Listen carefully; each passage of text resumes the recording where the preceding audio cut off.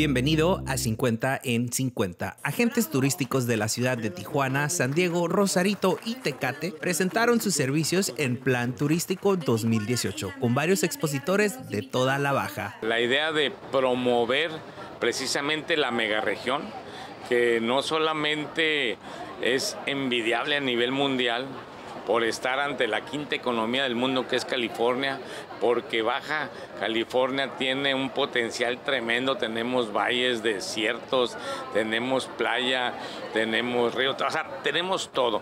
Esto nació para promovernos y que la derrama económica se quede en esta región. El propósito de este evento es dar a conocer los servicios que ofrecen hoteles, restaurantes y otros agentes como el turismo deportivo y el médico, que cada vez está creciendo en la frontera. Bueno, es importantísimo porque tenemos que tener un plan para realmente poder medir, poder tener nuestros retos y nuestro objetivo bien definido. Para mí siento que Tijuana es el municipio que se ha posicionado, que siempre ha ido a la cabeza del turismo en las diferentes modalidades. Vemos que tanto en el turismo médico como en el turismo gastronómico y, me da mucho orgullo porque es la puerta, es la entrada a nuestro país, a nuestro México y le tenemos que apostar.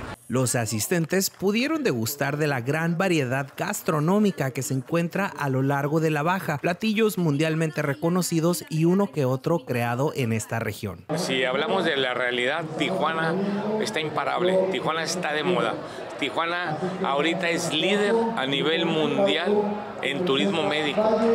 Somos líder en Latinoamérica en producción de cerveza artesanal.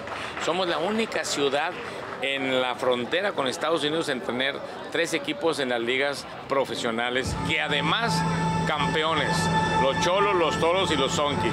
La ciudad de San Diego tuvo una gran participación en este plan turístico 2018 con Nation Vacation. Estamos aquí en, en este evento de Cotuco porque San Diego está trabajando, eh, lleva años tratando de promover lo que en estos días le dicen el Two Nation Vacation.